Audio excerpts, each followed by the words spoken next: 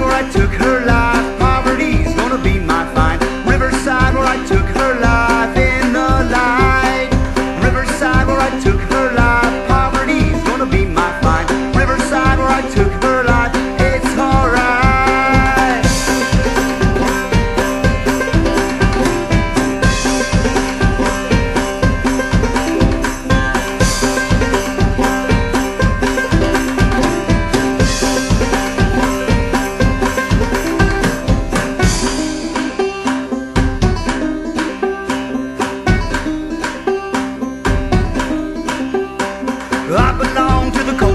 words were what I'd done.